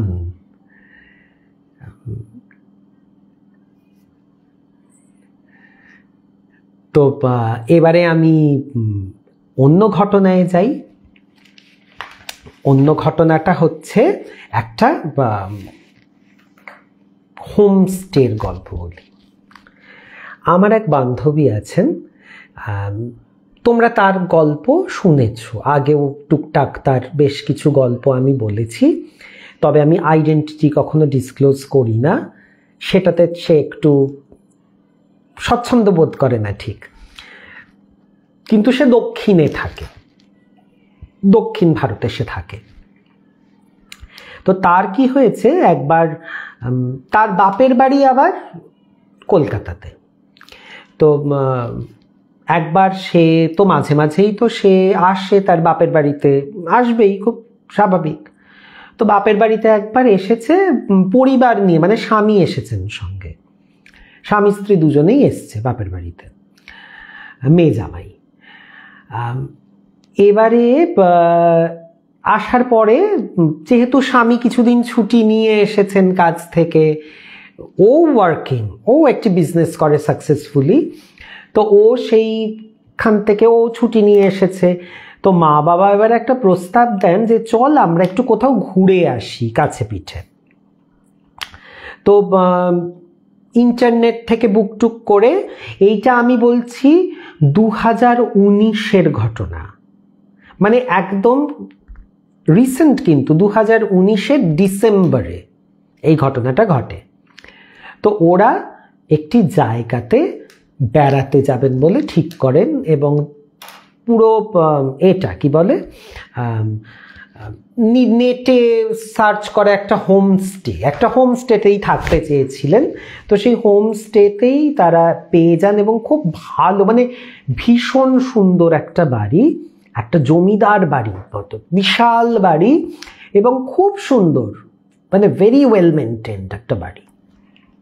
এবারে ও কী করেছে যে এই বাড়িটা কোথায়? আমি জায়গাটাকেও একটু উজ্জ্ব রাখব। উজ্জ্ব রাখব এই কারণে, কারণ সেই বাড়িটা এখনও আছে। হোমস্টে হিসেবে সেটা চলে। তবে আমি তোমাদেরকে একটা হিন্ট দিচ্ছি। এই বাড়িটা হচ্ছে সেই বাঙালিদের বিখ্যাত পশ্চিমে। পশ্চিম মানে হাজারিবাগ, মধুপুর গালুডি ঘাটশিলা, এই সমস্ত জায়গা। বুঝেছ তো? এই রকম কোনো একটি জায়গার হোমস্টে তো আমি এর থেকে বেশি ক্লু আর দেব না যে এই যে নামগুলো বললাম, এরই মধ্যে কোথাও একটা এই জায়গাটার নাম রয়েছে। তো সেখানে সেই বাড়িটাতে গেছে। বাড়িটাতে গিয়ে যেটা হয়েছে যে সেটা আমার এই বন্ধুর একটা বন্ধু এবং বন্ধুর স্বামী, দুজনেরই দুটো গিফট আছে। গিফট আছে বলতে আমার এই বন্ধুটি অনেক কিছু সেন্স করতে পারে, অনুভব করতে পারে। এবং ওর সঙ্গে এরকম অনেক ঘটনা ঘটে, যেহেতু ও সেন্স করতে পারে। ও অনেক কিছু বুঝতে পারে, কারুর প্রেজেন্স আছে কি না জায়গাটা পজিটিভ না নেগেটিভ এই সমস্ত জিনিসপত্র ও বুঝতে পারে। আর ওর স্বামী আবার দেখতেও পান। স্বামী ঠিক আগের থেকে বুঝতে টুঝতে পারেন না, কিন্তু কিছু যদি হঠাৎ করে হয় মানে হঠাৎ করে কোনো অতীন্দ্রিয় জিনিস হলে ওর স্বামীর চোখে ধরা পড়ে। এইটা পড়ে। তো ও বলছে, বুঝলি যে আমি গেলাম বাড়িটাতে, বলে ভীষণ সুন্দর বাড়ি। বলে অপূর্ব বাড়ি, বলে আমাদের ভীষণ পছন্দ হয়েছে। আর একটু নিরিবিলি মানে বাড়িটার পাশাপাশি বাড়িগুলো না ওর থেকে একটু ছেড়ে, একটু ডিস্টেন্সে ফাঁকা ফাঁকা জায়গা। তো সেইখানে বলছে যে আমি খুব খুশি ওখানে গিয়ে, সবাই খুব হ্যাপি বলে আমরা গেছি দুপুরে লাঞ্চ টাঞ্চ করব এবং গিয়ে দেখছি যে আমাদের দুটো যে ঘর আমরা পেয়েছি সেটা হচ্ছে নিচের তলার একটা ঘর, যেহেতু ওর মায়ের পায়ের প্রবলেম আছে কাকিমার। কাকু আর কাকিমা নিচের ঘরে থাকবেন আর ফার্স্ট ফ্লোরে ওরা হাজব্যান্ড অ্যান্ড ওয়াইফ থাকবে। আর বাদ বাকি যে কটা ঘর আছে, আমরা তো জানি যে হোমস্টেতে তো যত বড়ই বাড়ি হোক না কেন, বাড়ি তো, এটা তো হোটেল নয়। সাতটা ঘর থাকবে, আটটা ঘর থাকবে ম্যাক্সিমাম আর কত ঘর থাকবে? অত থাকে না। কিন্তু যদি বা থাকে, এরকম ম্যাক্সিমাম তাই থাকবে ছটা, সাতটা, আটটা। তার বেশি বড় বাড়ি তো আমরা হোমস্টে হিসেবে সেভাবে দেখি না। বাদ বাকি ঘরগুলো সব অকুপায়েড হয়ে গেছে একটি বিয়ের একটি বরযাত্রী আর কি। তারা সমস্ত প্রচুর, তারা আত্মীয় স্বজন এসেছে, সবাই বাদ বাকি ঘরগুলো অকুপাই করে নিয়েছে। ওরা শুধু একটা গ্রাউন্ড ফ্লোরে একটা ফার্স্ট ফ্লোরে দুটোতে ওরা দুটো ঘর নিয়েছে। ও আমাকে বলছে, বুঝলি, এত সুন্দর মানে রোদ ঝলমল করছে শীতের দুপুরবেলাতে। বলে, আমি যখন মানে ঢুকেছি, আমি ফিল করতে পেরেছি যে জায়গাটা কিন্তু হন্টেড কিছু একটা প্রেজেন্স আছে এখানে। মানে এটা ঠিক নর্মাল নয়। কারণ ও তো বুঝতে পারতো। কিন্তু ওর এমন একটা অদ্ভুত জিনিস হয়ে গেছে, ও বুঝতে পারলেও না পাত্তা দেয় না। এই কাকিমা এবং কাকিমার এই মেয়ে, এরা হচ্ছে দুর্দণ্ড সাহসী যাকে বলে, ভয়ঙ্কর সাহসী। এরা বিশেষ ভয় টয় মানে ওর বুঝতেও যদি পারে যে এই পাশেই হয়তো একটা কোনো সোল আছে ওরা পাত্তাও দেবে না ওদের কাছে। ঠিক আছে, এরকম ব্যাপার। তো ও বা যতক্ষণ না আমাকে জ্বালাচ্ছে, আমার কোনো প্রবলেম নেই। এই গোছের মানে এই লেভেলের খিলাড়ি কিও ভয়টায় একদম নেই। তো ও বলছে, আমি বুঝতে পেরেছি, কিন্তু আমি কাউকে বলিনি। শুধু শুধু বলে লোকের একটা আনন্দ মাটি করার কি আছে? এখানে তো আরও আর এতগুলো লোক আরও রয়েছে। কিছু স্টাফ আছে, বেশ কিছু স্টাফ সেই স্টাফেরাও বলল ম্যাক্সিমামই বাঙালি। আর তারাও সব রয়েছে, ওখানে কাজ করছে। এত বড় একটা বিয়ের একটা পার্টি এসেছে। তো অনেকেই তো আমরা আছি আমরা চারজন আছি। তো এখানে শুধু শুধু, এবং বাড়িটা এত সুন্দর। ভীষণ সুন্দর। মানে বাড়িটাকে দেখে কিন্তু তোমার কখনোই খুব স্পুকি বাড়ি, ভীষণ একটা গা ছমছমে সেরকম কিছুই না। পুরোনো দিনের জমিদার বাড়ি টাইপ বাড়িটা কিন্তু ভয়ে পাওয়ার মতো কিন্তু কোনো বাড়িটার গায়ে সেরকম কোনো ছাপ নেই, সেরকম কোনো গন্ধ নেই। কিন্তু ও ফিল করছে যেহেতু ওর মধ্যে একটা এক্সট্রা সেন্সিটিভিটি আছে ও ফিল করছে যে না, এখানে কিছু একটা আছে। এবারে যেটা হয়েছে, ওরা তো গিয়ে দিনের বেলাটা তো লাঞ্চ ফাঞ্চ করেছে, যা ধারে কাছে একটু ঘোরা টোরা ঘুরে টুরেছে। এবারে রাত্রির বেলাতে বলছে পেছনেই মানে ওই ক্যাম্পাসের পেছন দিকটাতেই কিন্তু স্টাফ কোয়ার্টার্স ওখানে কিন্তু সমস্ত এই যে যারা এখানের হাউসকিপিং করে বা রান্না বান্না করে, প্রত্যেকে কিন্তু ওইখানেই থাকে কম্পাউন্ডের মধ্যে। বাড়িটাতে না, কিন্তু কম্পাউন্ডের পেছন দিকটাতে। সামনে বাগান, পিছনে বাগান, এরকম একটা বড় জায়গা নিয়ে বাড়িটা। ও বলছে যে, একটা জিনিস আমি দেখলাম, ওরা প্রত্যেকেই না বলছে যে, তাড়াতাড়ি খাওয়া দাওয়াটা করে নেবেন রাত্রিরে আমরা তাড়াতাড়ি গুছিয়ে নিয়ে আমরা আমাদের কোয়ার্টারে চলে যাই। এই কথাটা ওরা বলছে। বারবার করেই ইনসিস্ট করছে যে আপনারা কিন্তু খাওয়া দাওয়াটা তাড়াতাড়ি করে নেবেন প্লিজ আমরা আপনাদেরকে খাওয়া দাওয়াটা দিই, আর তখন তো ঠান্ডার কাল, ডিসেম্বর মাস, আর ওই পশ্চিমে প্রচণ্ড ঠান্ডা। তো বলছে ওরাও বলছে যে ঠান্ডা ঠান্ডা ভীষণ তো, আমরা এখানে কাজ টাজ করে দিয়ে আমরা একদম চলে যাব আমাদের কোয়ার্টারে। তাহলে বলছে, তাহলে আমরা কি রাত্রির বেলাতে কাউকে ডাকলে তোমাদের কাউকে পাবো না? বলল, না না, একটি ছেলে থাকে। এখানে একটি ছেলের ঘর আছে, সেই তালা টালা দেয়, তালা খোলে। আর তাকে আপনাদের যা যা নিডস আপনাদের যা যা প্রয়োজন যখন যখন হবে, তাকে আপনারা ডাকতেই পারেন। সে এখানেই থাকে। একটি ছেলেই থাকে, অল্প বয়সী একটি ছেলে। আর বাদ বাকি আমরা স্টাফেরা সব ওই স্টাফ কোয়ার্টারে থাকি। তো, ঠিক আছে, তখন আর আরেকটা জিনিস বলছি যে এত ফাঁকা, নির্জন, যে একটু সেফটি সিকিউরিটির ব্যাপারে একটু চিন্তা মানে বিশেষ করে কাকিমার, কিন্তু একটু মানে একটু এই ভয়টা আছে। একে বিদেশ বিভুই, আর কলকাতা শহরে তো আমরা একটুখানি থাকি একটু সবসময় একটা চ্যালেঞ্জড অবস্থাতে। কাকিমা বারবার করে বলছে, দেখো বাবা, সব তালা টালা বন্ধ তো, তোমরা এখানে ঠিকঠাক রাখো তো, এখানে কোনো দিক দিয়ে কিছু লোকজন ঢোকার কোনো ব্যাপার নেই তো। তোরা বলছে, না মাসিমা, কোনো চিন্তা করবেন না, আমাদের এখানে সমস্ত খুব সুব্যবস্থা। সিকিউরিটি গার্ড মানে ওই ছেলেটি যথেষ্ট সজাগ, কিচ্ছু হবে না, আমরা সমস্ত জায়গায় তালা দিয়ে দিই। ছাদে পর্যন্ত তালা দেওয়া থাকে, কিচ্ছু কোনো আপনার চিন্তা নেই। কোলাপসেবল গেট টেট তালা টালা দিয়ে সমস্ত কিছু থাকে, আপনাদের কোনো বিপদের কোনো আশঙ্কা নেই।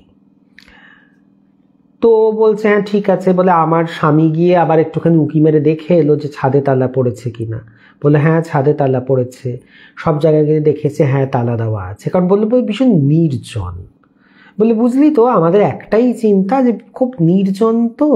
তার মধ্যে ওই যে একটা বিয়ে বাড়ির পার্টি আছে, তাদের কাছে তো গয়নাগাটি এগুলো তো থাকবে, তারা তো বিয়েতে এসেছে। তো সেই সময় যদি কোনো অ্যাট্যাক হয়, আমরা বিপদে পড়ে যাব বলে সেই জন্য আমরা ভীষণভাবে খুব এক্সট্রা কশাস ছিলাম অ্যাবাউট দ্য সিকিউরিটি সিস্টেম বলে, তা কিন্তু যা দেখলাম, তাতে আমরা স্যাটিসফাইড যে ঠিক আছে, সব ঠিকঠাক আছে। এইবারে বলছে যে আমার তো মা বাবা শুয়ে পড়েছে বলে আমরা তাড়াতাড়ি খেয়ে নিয়েছি বলে বাই টেন দশটার মধ্যে সমস্ত খাওয়া দাওয়া, দরজা বন্ধ, স্টাফেদের বাড়ি চলে যাওয়া সব কিছু হয়ে গেছে দশটার মধ্যে। তালা চাবি সব পড়ে টরে গেছে। বলে আমরাও সেদিনকে এসছি, শরীর টায়ার্ড ছিল। বিয়ে বাড়ির পার্টির লোকেরা এখানে এসেই আবার ওদের যেখানে বিয়ে হচ্ছে, সেই জায়গাটাতে গিয়েছিল। গিয়ে ওখানে হইচই করে তারা ফিরেছে। মানে এভরিবডি ওয়াজ টায়ার্ড সবাই খুব ক্লান্ত, তো সবাই শুয়ে টুয়ে পড়েছে। বলে আমিও শুয়ে টুয়ে পড়েছি। এইবারে দুজনের দুটো স্লিপ প্যাটার্ন আছে।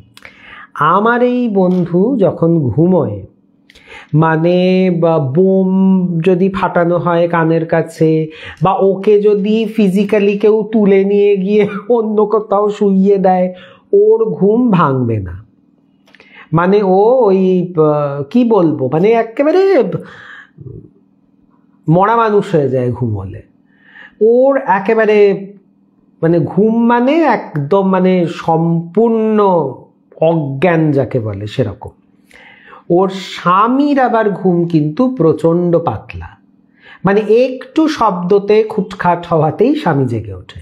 এরকম ব্যাপার। কিন্তু সেই দিন ঘটল ঠিক তার উল্টোটা। বলো জানিস, আমার স্বামী শুলো আর নাক ডাকতে শুরু করে দিল। বলে ভীষণ আনলাইকলি বলে আর এবারে বলে আমি জেগে আছি আরও নাক ডাকছে। তো এবার এবারে ওর ইন্টেন্সিটি বাড়ছে নাক ডাকার। বলছে আমার তো বলে আমি তো আর ঘুমোতে পারছি না। আগে তো মানে যেটা হয় যে নর্মালি আমি ঘুমিয়ে পড়ি আর ও এ করে ও জেগে থাকে মানে ও অনেক পরে ঘুমোয় এবং খুব হালকা ঘুম। বলে এখানে ঠিক উল্টোটা হলো। এই ও এবারে আগে ঘুমিয়ে পড়েছে, দিয়ে নাক ডাকছে পরম সুখে। আর ও নাক ডাকা যেই শুরু হয়েছে, আমার তো আর ঘুম আসছে না। এবারে আমি ওকে যতই ডাকি যে তুমি একটু সব, একটু পাশ ফিরে শো কি এ করো। হয় না আমরা একজন কেউ নাক ডাকলে আমরা তাকে একটু সচেতন করে দিই। বলে ও সেদিন জানি বলে ঠিক আমার মতো, বলে পুরো মরার মতো ঘুমোচ্ছে, যেটা কোনো দিন হয় না। বলে এরকমভাবে হচ্ছে। বলে আমি তো কোনো রকমে বলল মানে সেই কি করব, জোর করে ঘুম আসার মতো আর কি সাধ্য সাধনা করে, বলে এটা আমার হয় না। আমি পড়লেই ঘুমিয়ে পড়ি। বলে আমি ঘুমোতে বা তার মধ্যে নাক ডাকা চলছে। বলে, এই করে আমি যখন ঘুমিয়েছি মানে বলে আমার একটা তন্দ্রা চোখটা এরকম লেগে আসছে, বলে দুম দুম দুম। বলে তিনটে, বলে দরজাতে ঠিক তিনটে ঘুষি পড়ল। বলে ওটাকে নকিং বলে না, ওটা ঘুষি। মানে একদম দুম দুম দুম করে তিনটে ঘুষি পড়বে মারাত্মক জোরে। বলে আমি পুরো হকচকিয়ে কি হলো? আর ও তো পুরো ঘুমোয়নি। ও তো তখন সবে মানে কি চোখটা এরকম লেগে আসছে। বলে দুম দুম দুম করে ঘুষি। আমি তো সঙ্গে সঙ্গে উঠে কে কে? না না, কে, কেটা করেনি। ও কিন্তু সাড়া দেয়নি। হ্যাঁ ও কে, কেটা করেনি। ও না উঠে বসেছে। এবারে উঠে বসে, ওঠো না।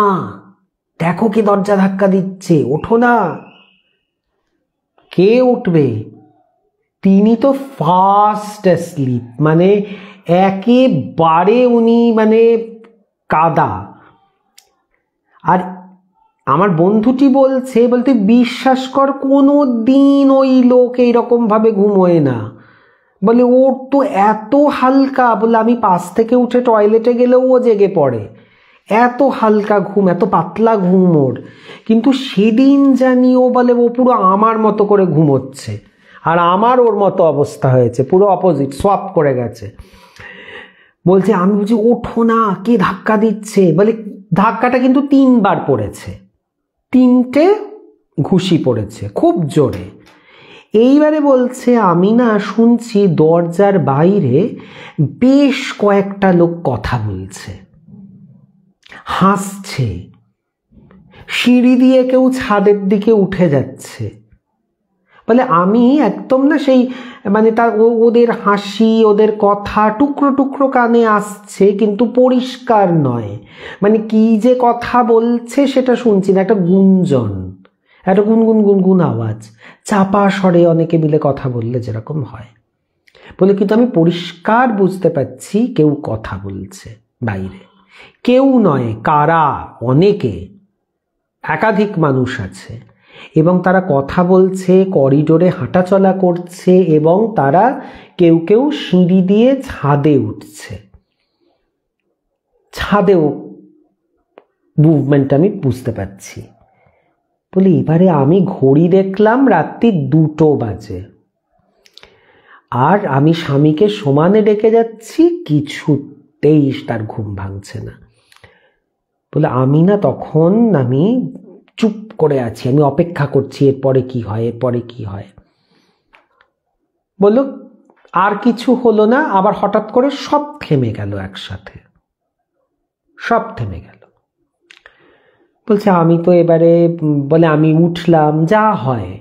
বলে, আমি উঠে একটু টয়লেটে গেলাম, একটু জল খেলাম, খেয়ে দিয়ে শুয়েছি।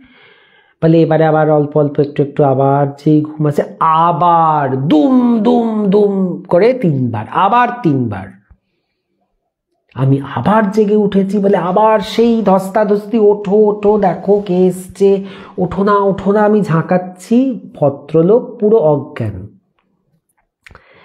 বলছে, ঠিক, বলে তো ঠিক ওই রকম ফিসফিস করে কথা ওরকম হাসি, ওরকমভাবে কেউ ছাদে উঠে যাচ্ছে, বলে একদম কপি পেস্ট বলল যেই যেই ঘটনাগুলো ঘটেছিল, একদম তার রিপিট টেলিকাস্ট হলো। এবং হয়ে আবার হঠাৎ সব স্টপ আমি তো মহা বিপদে পড়লাম। কি হচ্ছে আমি তো বুঝতে পারছি না।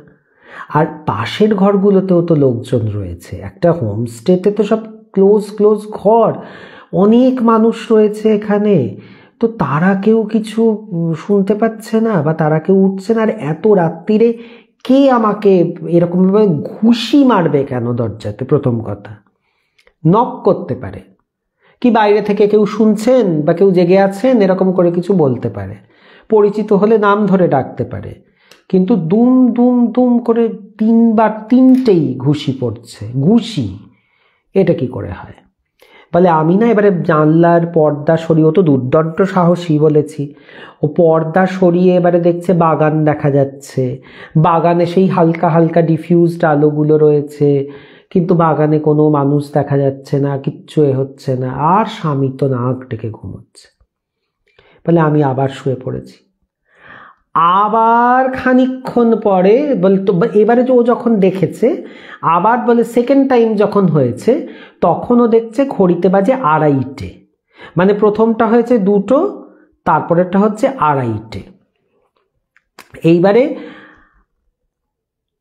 আবার থার্ড টাইম বলছে এইটা হবে তোর ওই সোয়া তিনটে, সাড়ে তিনটে, এইরকম নাগাদ। আবার সেম জিনিস ওই তিনবার, দুম দুম দুম করে তিনটে ঘুষি এবং সেই ফিসফিসানি, সেই কথা, সেই ছাদে ওঠা, একদম copy paste the same thing repeat telecast হয়ে গেল। বলছে এই রকমভাবে বলে, আমি তো বারবার করে ঘুম থেকে উঠছি আর শুচ্ছি। বলে, যতবার উঠছি সেই টয়লেটে যাচ্ছি, জল খাচ্ছি মানে ঘুমোতে পারছি না, ঘুম ভেঙে গেলে যা হয়, ও তো ঘুমোতেই পারেনি ঠিক করে। বলে, এইভাবে বুঝলি, সারা রাত। বলল, প্রায় সাড়ে তিনটে অবধি এই কাণ্ড কারখানা চলেছে চারবার হয়েছে টোটাল। হুম, একটা বোধ হয় দুটোয়, একটা আড়াইটে আরেকটা তিনটে, সাড়ে তিনটে, এইরকম কিছু একটা হয়েছে। হ্যাঁ টিকটিকি। সুজা ঠিক বলেছিস, টিকি এই টিকটিকিটা কিন্তু আমার একটা গল্প হলেও সত্যির অবিচ্ছেদ্য অঙ্গ। আমি জীবনে এই টিকটিকিটাকে দেখিনি, কিন্তু এমন এমন কথাই টিকটিক করে মানে আমি আমরা অবাক হয়ে যাই। মানে কোনো একটা আমরা হয়তো কিছু একটা স্টেটমেন্ট বলেছি, এমন সময়ও টিকটিকটা ফেলে না, আমরা তখন আমরা বুঝতে পারি ঠিক বলেছি। মানে ঠিক ঠিক ডিসিশন নিয়েছি বা ঠিক বলেছি, ঠিক বুঝতে পেরেছি, ও ঠিক জানান দেয়। কিন্তু আমি কোনোদিন ওকে দেখিনি। এই ঘরে বছরের পর বছর তিনি আছেন এবং সময় সময়তেই টিক টিক টিক টিক করেন।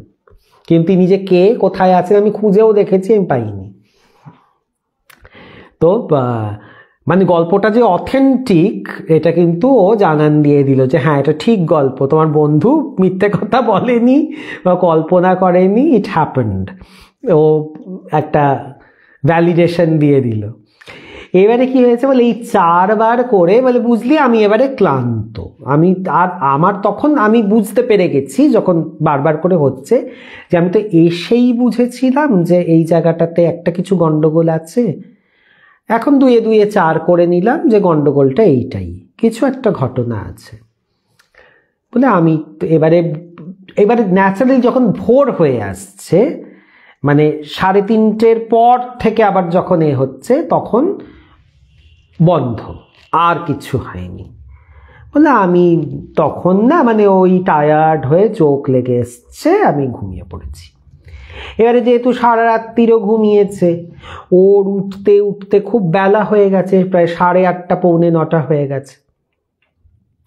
তখনও তো এইদিকে ওর মারা ডাকছে, ফোন টোন করে মোবাইলে, কি রে, এতক্ষণ ধরে কি করছিস? নাব নিচে, বেড়াতে এসে নটা অবধি ঘুমোচ্ছিস? নিচে নাব, চল, এরপর তো ঘুরতে টুরতে যাব আমরা। তখন ও তো বলছে, আমি কোনো রকমে এ করে মুখ টুক ধুয়ে টুয়ে গিয়ে বলে, আমি প্রথমে আমার হাজব্যান্ডকে বললাম, তোমার কাল কি হয়েছিল? তুমি এরকম বিভৎস ঘুমোচ্ছিলে কেন? তো যে আমি এরকম ঘুমিয়েছি, আমার তো এরকম ঘুম হয় না।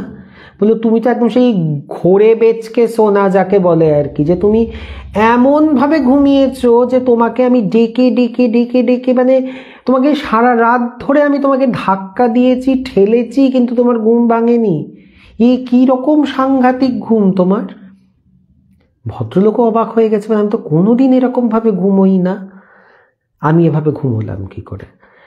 এবারে তখন বলছে শোনবা তাহলে তুমি ডাকছিলে কেন? বলে, শোনো, ব্যাপারটা ঘটেছে, এই এই ঘটনা ঘটেছে সারা রাত্রির ধরে। এবারে আমি বলেছি না যে এই ভদ্রলোকও গিফটেড মানে ওনার মধ্যেও সেই পাওয়ারটা আছে, উনি অনেক কিছু দেখতে পারেন। আর উনি কিন্তু জানেন যে তার স্ত্রী অনেক কিছু বোঝে। তো স্ত্রীকে সে কিন্তু সিরিয়াসলি নেয়। স্ত্রীকে কখনো ওই হেসে উড়িয়ে দেওয়া যে, ধুর, তুমি কি দেখেছ? ভুলভাল বকছো। এটা কিন্তু সে কখনো করে না। বলে হ্যাঁ আমি না, তুমি যখন প্রথম ঢুকলে মানে আমরা যখন হোমস্টেটাতে প্রথম কালকে এলাম, আমি তোমার মুখের অভিব্যক্তি দেখেই আমি বুঝতে পেরেছি খুব চেনা একটা এক্সপ্রেশন যে আমি বুঝতে পেরেছি যে তুমি কিছু একটা ফিল করেছ। কিন্তু আমিও কিছু বলিনি, কারণ আমরা এসে দুদিন থাকার কথা মানে দু রাত ওরা থাকবে। বলে, দুদিন থাকব, আমিও আর কিছু বলিনি, তুমিও আর আমাকে কিছু বলনি বলে আমিও চুপ করেছিলাম, আর কিছু বলি টলিনি। তখন বলে, কিন্তু দেখো, এই যে এরকম হয়েছে এটা কি হলো? এটা তো আমাকে একটুখানি জানতে হবে যে সারা রাত ধরে কি হলো। এবারে নিচে তো গেছে দুজনে স্বামী স্ত্রী মিলে মা বাবার কাছে গেছে। গিয়ে তখন মাকে বলছে, মা, কালকে রাত্রিরে এরকম এরকম হয়েছে, তুমি আওয়াজ পেয়েছ? আমি তো কোনো আওয়াজ পাইনি রে। আমি তো একতলাতেই ছিলাম, আমি তো কোনো আওয়াজ পাইনি এরকম। আর এত লোকজন ছাদে উঠছে। ওর স্বামী বলছে হ্যাঁ ছাদ তো তালা দেওয়া। বলে, আমি নিজে কাল থেকে এসেছি ছাদ তালা দেওয়া। ছাদে উঠবে কি করে? বলছে, না, আমি তো ছাদেও মুভমেন্ট টের পেয়েছি এবং এরকম তিনটে ঘুষি পড়েছে। তিনটেই পড়েছে। মানে যতবার ওই চারবার তিনটে তিনটে তিনটে করেই পড়েছে ঘুষি। এবং ঘুষি খটখট নয়। তো বলছে, কি ব্যাপার? তখন এবারে কি ওকে না সবাই সিরিয়াসলি নেয় কিন্তু আমার ওই বান্ধবীকে। কারণ সবাই জানে যে ওর মধ্যে সেই ক্ষমতাটা রয়েছে। তখন ওর মা বলে, চল একবার জানি আমরা কি ঘটনাটা কি হয়েছে। ওদেরকে এটা বলতে হবে, যদি বিপদ আপদ কিছু হয়ে যেত, তখন তো ওর স্বামী আরও ওরা দুজন মিলে গেছে। গিয়ে যেই ছেলেটি রাত্রিরে থাকতো, তাকে ধরেছে, ভাই, শোনো, কি আছে এখানে? কি কি আছে, ম্যাডাম? বলে এই রকমভাবে রাত্রির বেলাতে আমি সারা রাত্রি ডিস্টার্বড হয়েছি, ঘুমোতে পারিনি। এরকমভাবে কেউ মানে ঘুষি মারছিল আমার দরজায়। প্রচুর লোকের আওয়াজ, কথাবার্তা, ফিসফিসানি এগুলো হচ্ছিল। কি? এবারে এই ছেলেটিকে যেখানে ধরেছে, তখন না বাদ বাকি স্টাফরা তো ভোরবেলায় চলে এসেছে। তারা অনেক সকালে আসে, একদম ভোর এস চলে আসে এখানে কাজ করতে। ওরা সব চলে এসেছে, কেউ ঘর মুচ্ছে কেউ রান্নার তোড়জোড় করছে। এই সব কিছুর মাঝখানে এই ছেলেটিকে ওরা পেয়েছে, ওখানে জিজ্ঞেস করছে। সবাই এটা শুনতে পেয়েছে, স্টাফেরা। এবং ও বলছে বলে তুই বিশ্বাস করবি না, সবার না মুখ মুখ চুন কথাটা বলে না? বলল, মুখ চুন। বলল, পুরো সাদা মুখ প্রত্যেকের। চুপসে গেছে। না, এরকম তো কিছু, ম্যাডাম, এরকম তো কিছু নেই এই করে। তখন ওর স্বামী বলছে যে, এরকমভাবে তোমরা বে করেছ। বল, দেখো, আমি কিন্তু খুব খারাপ রেটিং দেব আর আমি ইন্টারনেটে খুব বাজে রিভিউ দেব। তোমরা যদি এরকম করো, কাল তো কিছু একটা বিপদ হয়ে যেতেই পারতো। যদি কিছু জানো, পরিষ্কার করে বলো, তাহলে আমরা এটা নিয়ে বাড়াবাড়ি কিছু করব না। প্রথমে তো একটু গাঁইগুঁই করেছে বলে দেখ, আমরা বুঝতে পারছি যে ওরা হচ্ছে ওই হোমস্টের স্টাফ। আমরা যদি ওদের মানে এমন কিছু ওরা যদি আমাদেরকে বলে দেয়, ওদের চাকরিও চলে যেতে পারে। কলকাতাতে থাকে মালিকরা, কিন্তু যদি তাদের কাছে কোনোভাবে রিপোর্টেড হয় যে তাদের স্টাফরা কোনো কথা বলেছে, তখন কিন্তু চাকরি চলে যেতে পারে। বিজনেস হ্যাম্পার্ড হবে। তখন বলে, আমি বুঝতে পারছি, কিন্তু আমাদের তখন হচ্ছে আমাদের জানতে হবে বিষয়টা কি ঘটেছে। বলে, দেখো, আমরা কাউকে বলব না, সত্যি কথাটা আমাদেরকে বলো। বলল জানি না ওরা সত্যি করে জানে না কি না। তবে বলল, না, আমরা কিন্তু সত্যি জানি না যে কোনো ঘটনা ঘটেছিল কি না এখানে আগে। তবে এই পার্টিকুলার এই ঘরটা থেকে আপনাদের আগেও দু তিনবার রিপোর্ট এসেছে। যে এই আপনি যেই ঠিক যে কথাটা বললেন, এই ঘটনাটাই ঘটে। বলে এই রিপোর্টটা কিন্তু এসেছে। সেই জন্য এই ঘরটা আমরা সাধারণত কাউকে দিই না। তাহলে আমাদের দিলে কেন? সঙ্গে সঙ্গে ধরেছে আমার বন্ধু। বলে আমাদেরকে দিলে কেন তাহলে? আমাদের যদি কিছু বিপদ হতো, আমরাও তো পে করে এসেছি। তখন বলছে, ম্যাডাম, আর কোনো উপায় ছিল না, কারণ ওই যে একটা বিরাট বড় যে একটা বিয়ের পার্টি এসেছে, তারা তো সমস্ত ঘর অকুপাই করে নিয়েছে। কাজেই এই দুটো ঘরই ছিল। সেই জন্য আপনাকে এটা আমরা দিতে বাধ্য হয়েছি। আর আমরা সত্যি সত্যি দু তিনবার রিপোর্টেড হয়েছে ঠিকই, কিন্তু এর পেছনে যে কি ঘটনা, এটা আদৌ ভৌতিক কিনা বা অলৌকিক কিনা, আমরা কিন্তু সত্যি কিছু জানি না। কিন্তু এরকম দরজা ধাক্কার এরকম ফিসফিস করে কথা, এটা কিন্তু হয়েছে। মানে এটা দু, তিনবার আমরা কিন্তু এ ধরনের রিপোর্ট পেয়েছি। তখন আমার বন্ধুরাও আর না ওই ব্যাপারটাকে বাড়ায়নি, বলল, দেখ কি একটা হোমস্টে আছে, করে খাচ্ছে, আমরা শুধু শুধু একটা নেগেটিভ এ দেবো, আর কোন কি প্রমাণ তো কিছু নেই। না, যে আজকে যে আমাদের চার্জ করে যদি যে কি ভিত্তিতে বললে। আর তো প্রমাণ কিছু নেই। পাশের ঘরের তোরের লোকজন কেউই তো কিছু শুনতে পায়নি বলছে। কাজেই বলে হতে পারে যে পুরনো বাড়ির মোটা দেওয়াল অনেক সময়তে সেখানে সব আওয়াজ গিয়ে পৌঁছয় না। কিন্তু এই ঘটনাটা ঘটেছে। এবং এই ঘটনাটা ঘটেছে এই গত দু হাজার উনিশ সালের ডিসেম্বর মাসেই। বলল, সেখানে আমরা বলে, এখনও বলে, দেখ, হোমস্টেটা এতটাই সুন্দর। বলল, আমাকে যদি আবার যেতে হয় ওই জায়গাটায় কোনো দিন আমি কিন্তু ওই হোমস্টেটাতেই যাব। কিন্তু হয়তো আমি ওই ঘরটা নেব না। কিন্তু আমি ওই হোমস্টেতে যাব এবং হাইলি রেকমেন্ডেড যে ভীষণ সুন্দর হোমস্টেটা। কিন্তু আমি ও বলে আমরা নেগেটিভিটি কিছু ছড়াইনি, কিছু বলিনি। আমরা মোটামুটি সুন্দরভাবে এনজয় করছি। বলে, এবারে দেখ, পরের দিন, পরের রাত্রিরে কিন্তু কিচ্ছু হলো না। বলল যে, তুই তো অনেক রকম ব্যাখ্যা দিস। আমাকেও বলছে, বলে, আমার গল্পটার একটু ব্যাখ্যা দিস তো। তোর কি মনে হয়? কি হয়েছিল? এইবারে হ্যাঁ সোনালি ঠিক বলেছে। এরকম হোমস্টের মালিকদের আরও বেশি করে ফলো করে অ্যাডভার্টাইজমেন্ট করা উচিত। যে যারা প্যারানর্মাল বিষয়ে আগ্রহী, তারাই আসুন ভিজিট করতে এখানে। প্রচুর লোক যাবে আর এটা কিন্তু দারুণ একটা মার্কেটিং স্ট্র্যাটেজি সোনালি বলেছে দুর্দান্ত। যে প্যারানর্মাল একটা ট্যুর যদি কেউ করতে চায়, তাহলে এই জায়গাটায় আসতে পারে। তো এইবারে কি হয়েছে যে ও বলে তুই বল তো কি হতে পারে?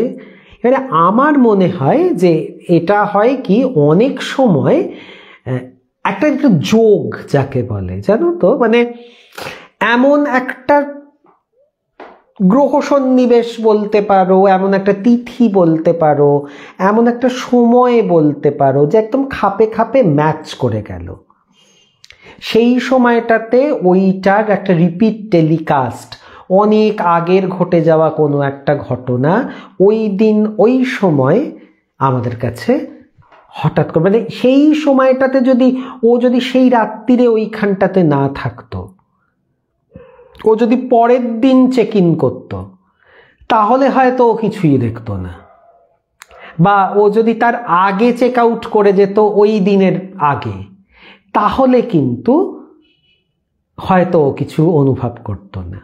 সুজা ঠিক বলেছিস, ওই তিথি লগ্নে কিছু একটা কনফিগারেশন একটা প্রাকৃতিক কোনো কনফিগারেশন যখন দুটো সামহাও ম্যাচ করে যায়, তখনই কিন্তু আমরা ওই জিনিসটা দেখতে পাই। কিন্তু তার আগে বা তার পরে নয়। ওকে আমি এই সম্ভাব্য এটা, ও বলছে হ্যাঁ আমারও সেটাই। ও সেটাই বলল যে, আমারও মনে হচ্ছে, জানিস তো, যে হয়তো আমার সঙ্গে একদম মিলে গিয়েছিল সময়টা।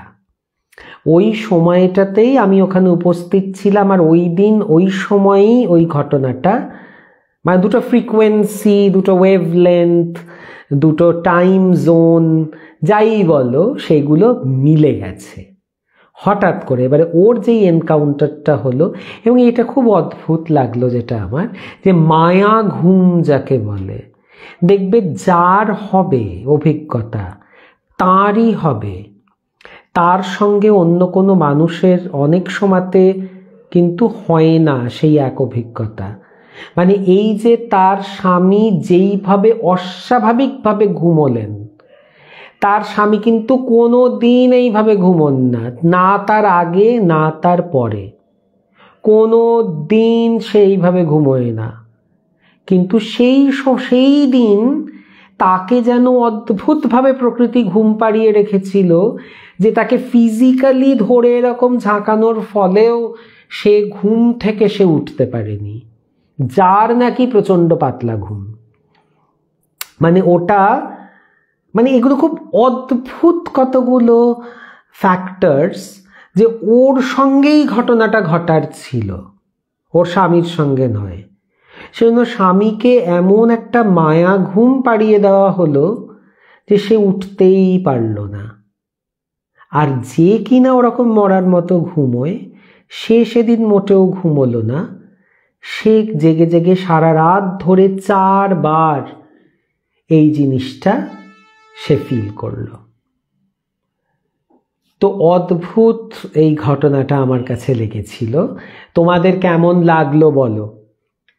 আজকে আমরা আমরা যথারীতি দশটা পার করে ফেলেছি। আবার আসব তোমাদের কাছে। তো আজকে যেই ঘটনাগুলো বললাম, তোমাদের কেমন লেগেছে অবশ্যই আমাকে জানিও। আর দেখতে থাকো, গল্প হলেও সত্যি। আমার ইউটিউবের বন্ধুদের জন্য বলি যে আমার ডিসক্রিপশন বক্সে ফেসবুক গ্রুপের লিঙ্কটা দেওয়া থাকে। সেই লিঙ্কে ক্লিক করে তোমরাও হয়ে যেতে পারো আমাদের সঙ্গী আর তোমাদের নিজের অভিজ্ঞতা বা এরকম জানা কোনো অভিজ্ঞতা তোমরা ভাগ করে নিতে পারো আমাদের সাথে।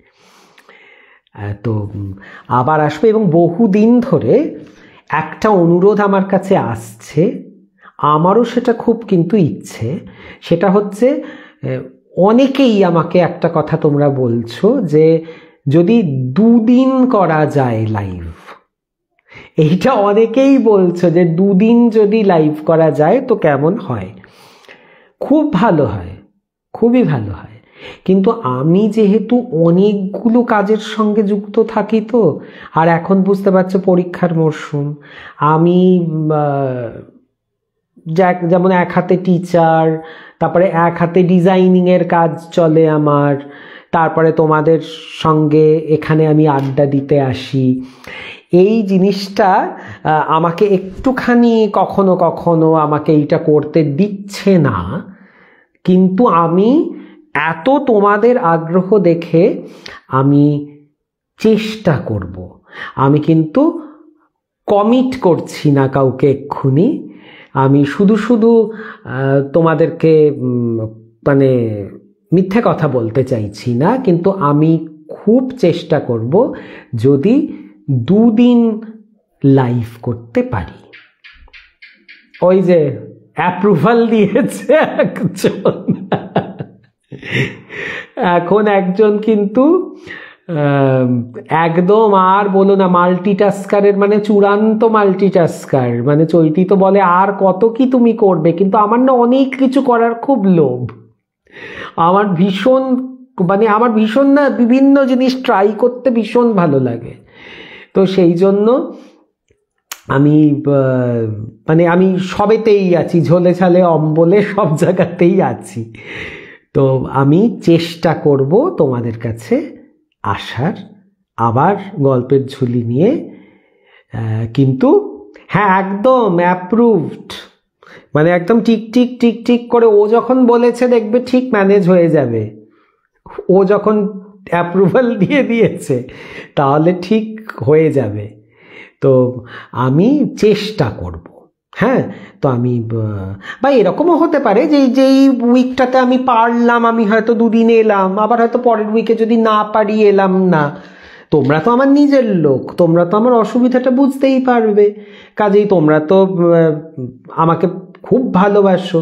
কাজেই সেই দিন তো মানে সেটা নিয়ে তো কোনো ভয় নেই। ধরো এই সপ্তাহে আমি দুদিন আসতে পারলাম, পরের সপ্তাহে হয়তো পারলাম না। সেটা তো তোমাদেরকে আমি বলেই দেব তোমরা। বুঝেই যাবে, কিন্তু আমি নিশ্চয়ই চেষ্টা করব, কারণ এত ভালোবাসা তোমাদের কাছ থেকে আমি পেয়েছি। তোমাদের মূল্যবান সময়ের থেকে তোমরা আমাকে যে সময় দাও, এটাই আমার কাছে বিরাট প্রাপ্তি। একদম Deepto approved by our lizard হ্যাঁ ইনভিজিবল লিজার্ড যাকে আমি চৈতি কেউ কোনোদিন দেখিনি। আমার কিন্তু তিনি আছেন। তো আজকের মতো আসি। আবার দেখা হয়ে যাবে, গল্প হলেও সত্যির আরেকটি পর্বে। ততদিন ভালো থেকো, সুস্থ থেকো সবাই। তবে একটি অনুরোধ, তোমরা নিজেরা একটু গল্প বলতে এসো। আর একটু যদি ভালো লাগে বন্ধু বান্ধবদের সঙ্গে একটু শেয়ার করো, কারণ অনেকগুলো গ্রুপ আছে তো যারা পছন্দ করেন। আমাদের নিজেদের মধ্যেও যদি বিনিময় হয়, তো খুব ভালো লাগবে। সেই জন্য হ্যাঁ খাতা দেখার মরশুমটা পার হলে দুদিন করে হোক, তবে হ্যাঁ সেটাই। খাতা দেখার মরশুমটা একটা ভয়ঙ্কর। এই সময়ে আমরা মানে স্নান খাওয়াও ভুলে যাই। তো হ্যাঁ সুজা বলছে, আমি খুব অধীর আগ্রহে অপেক্ষা করব। হ্যাঁ বাবা, আমি চেষ্টা করব আসার। Good night Sanjukta. প্রত্যেককে জানাই শুভরাত্রি। সবাই ভালো থেকো, সুস্থ থেকো। আবার দেখা হয়ে যাবে গল্প হলেও সত্যির আসরে। আজকের মতো বিদায় দাও তবে।